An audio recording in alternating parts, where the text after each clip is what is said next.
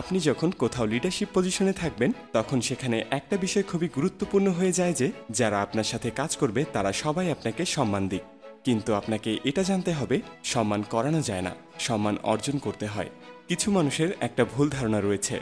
তারা মনে করেন, যেহেতু সে নিজে লিডারশিপ পজিশনে আছে, তার মানে সবাই তাকে অটোমেটিক সম্মান করবে, তাতে তার ব্যবহার যেমনই হোক না কেন।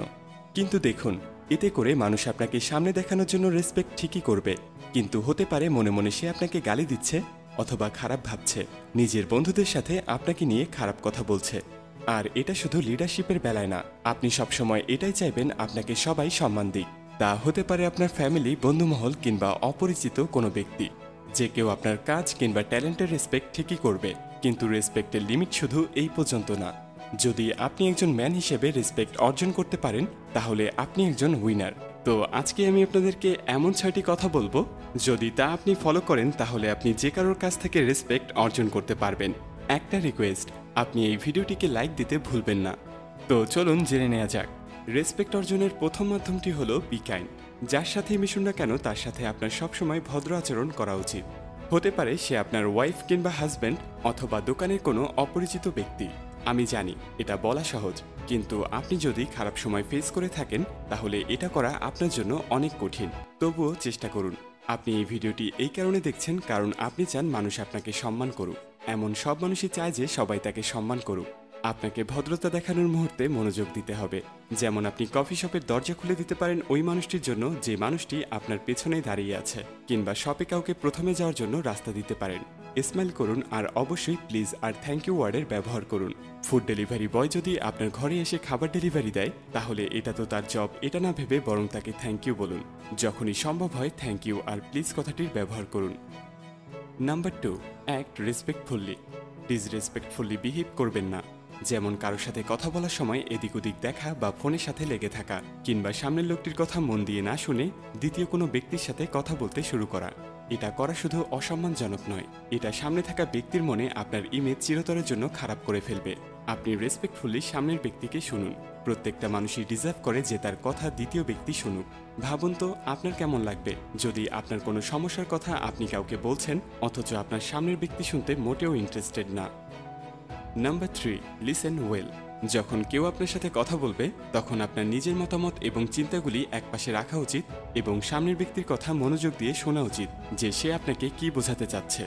আমি দেখেছি লোকেরা অন্যের কথা শুনতে চায় না, তারা অন্যের কথার মাঝে নিজের কথা বলতে থাকে। আর কিছু লোক সামনের ব্যক্তির কথা মনোযোগ দিয়ে না শুনে মনে মনে এটা ভাবে এখন তার কি বলতে হবে। আর তখন সে নিজের কাহিনী বলা শুরু করে। নিজের কাহিনী শোনানোর পরিবর্তে সামনের ব্যক্তিকে এমন প্রশ্ন করতে হবে যাতে সে আরও বেশি কথা বলতে এনকারেজ হয়। যখন আপনি কারও কথা মনোযোগ দিয়ে শুনতে থাকেন, তখন আপনি তাকে ইম্পর্টেন্ট ফিল করান, যার কারণে সেও আপনার ক্ষেত্রে এমন ফিল করবে। শোনার মাধ্যমেও আপনি রেসপেক্ট আর্ন করতে পারেন। Number four don't make excuse আপনার কাজের দায় গ্রহণ করুন। কিছু পরিস্থিতি বাদ দিলে অজুহাত দেওয়ার কোনো কারণ থাকবে না। যদি আপনি দেরি করেন, তাহলে হয়তো এর জন্য দেরি করেছেন যে আপনি আপনার সময়কে ঠিকঠাকভাবে ম্যানেজ করতে পারেননি। যদি আপনি আপনার কাজ ঠিকঠাকভাবে করতে না পারেন তো হতে পারে আপনি কাজে অমনোযোগী ছিলেন, না হয়তো অন্য কোনো জরুরি কাজে ব্যস্ত ছিলেন। নিজের ভুলকে অ্যাকসেপ্ট করুন আর ভুলের জন্য অনুশোচনা করার জায়গায় নতুন পজিটিভ চিন্তা করুন। আর আগের থেকে ভালো কাজ করার কমিট করুন এবং সামনে এগিয়ে যান। যেসব লোক নিজের ভুলকে অস্বীকার করে, আপনি কি তাদের রেসপেক্ট করবেন? কমেন্টে অবশ্যই জানাবেন। Number five let go of anger নিজের রাগকে ধরে রাখলে বা কারও উপর ক্ষোভ থাকলে ক্ষতিটা আপনি ছাড়া আর কারও হবে না। রাগ ধরে রাখবেন না। রাগকে নিয়ন্ত্রণ করুন। কয়েক সেকেন্ডের জন্য যদি রেগেও যান, সেটাকে রেখে এগিয়ে চলুন।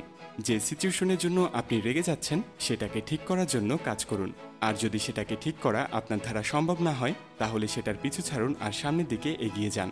একটা সিচুয়েশনে আটকে থেকে কিংবা আফসোস করে রাগ করে কোনো লাভ হবে না। এই ট্রেস থেকে উদ্বেগ সৃষ্টি হবে, যেটার কারণে আপনার স্বাস্থ্যের সমস্যা হতে পারে। মনে রাখবেন, কেউই পারফেক্ট হয় না। কিছু কাজে ভুল হবেই। তাই অন্যকে এবং নিজেকে এর থেকে বের হতে সাহায্য করুন। ক্ষমা করুন, ভুলে যান আর সামনের দিকে এগিয়ে যান। Number six, be willing to change. জেদি হওয়া আপনাকে কোথাও নিয়ে যাবে না। মনে রাখবেন, পরিবর্তন প্রকৃতির নিয়ম।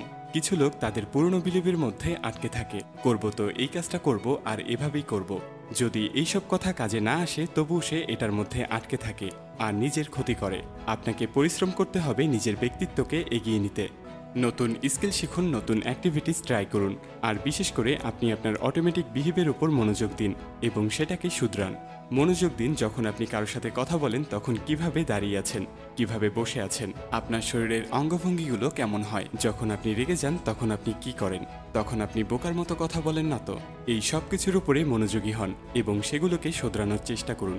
যখন আপনি একজন ব্যক্তিত্ববান মানুষ হয়ে উঠবেন, তখন আপনি অন্য মানুষের কাছ থেকে অটোমেটিক রেসপেক্ট অর্জন করতে পারবেন এবং এই অগ্রগতির জন্য নিজের প্রতি কৃতজ্ঞতা জানাতে ভুলবেন না। যখন বিশ্বাস বদলানোর কথা আসে, তখন একটি ভালো বন্ধু ও বই অনেক বড় ভূমিকা রাখে। এখন চলুন পুরো ভিডিওটিকে একবার সাম আপ করা যাক। নাম্বার ওয়ান বি কাইন্ড লোকের সাথে ভদ্র আচরণ করুন। যদি সে অপরিচিত হয়, তবুও আপনি সুযোগ খুঁজুন কীভাবে মানুষের সাথে ভদ্র আচরণ করবেন। নাম্বার টু অ্যাক্ট রেসপেক্টফুললি যখন কারোর সাথে কথা বলবেন, তখন এদিক ওদিক তাকাবেন না, নিজের ফোন বারবার চেক করবেন না, অথবা তৃতীয় কোনো ব্যক্তির সাথে কথা বলবেন না, সম্পূর্ণভাবে সামনের ব্যক্তির কথা শুনুন। নাম্বার থ্রি লিসেন ওয়েল নিজের কাহিনী শোনানো বাদ দিয়ে আপনার সামনে থাকা ব্যক্তির কথা মনোযোগ দিয়ে শুনুন, আর তাকে এমন প্রশ্ন করুন যাতে সে আরও কথা বলতে থাকে। Number four don't make excuse অজুহাত না দেখিয়ে নিজের দায়িত্ব নিন। আপনি আপনার কাজ সম্পূর্ণ করতে পারেননি, এর মানে এখানে আপনার বন্ধুর দোষ না, যে সে আপনাকে কল দিয়েছে আর আপনি তার সাথে এক ঘণ্টা কথা বলেছেন। বরং আপনার ভুল, কারণ আপনি তাকে বলেননি যে, ভাই, আমি খুব বিজি আমার জরুরি কাজ আছে, পরে কথা বলি। Number five let go of anger রাগকে চাপিয়ে রাখবেন না, রাগ হলে রাগ করুন, কিন্তু কয়েক সেকেন্ডের জন্য। কিন্তু মনোযোগী হন সেই পরিস্থিতিকে সমাধান করার জন্য। আর যদি সেটা আপনার হাতে না থাকে, তাহলে সেটাকে বাদ দিয়ে সামনে এগিয়ে যান। Number six be willing to change পরিবর্তনের জন্য তৈরি থাকুন। মনে রাখুন, আপনি যদি এগিয়ে না যান, তাহলে শেষ হয়ে যাবেন। নতুন কিছুর জন্য নিজের মাইন্ডকে সবসময় ওপেন রাখুন। সর্বদা নতুন কিছু শিখতে থাকুন। নতুন নতুন জায়গা আর নতুন মানুষদের সাথে মিশুন। ভালো বই পড়ুন। আপনি হয়তো বিশ্বাস করেন স্টেট আপ বিডি তাদের জন্য, যারা নিজেদের জীবনের উন্নতি সাধন করতে চায়। তো আজ এই পর্যন্তই। ভিডিওটি ভালো লাগলে অবশ্যই প্রিয়জনদের সাথে শেয়ার করতে ভুলবেন না। আর আমাদের চ্যানেলটি সাবস্ক্রাইব করে পাশে থাকা বেল আইকনটি প্রেস করে দিন। Thanks for watching